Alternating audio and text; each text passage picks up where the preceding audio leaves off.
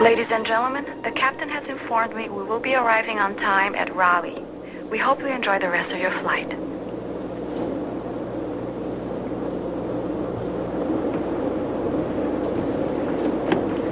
Something wrong, Mr. Castillo?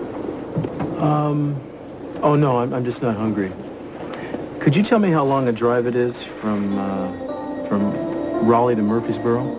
Oh, about an hour and a half, maybe a little less. Okay, thank you.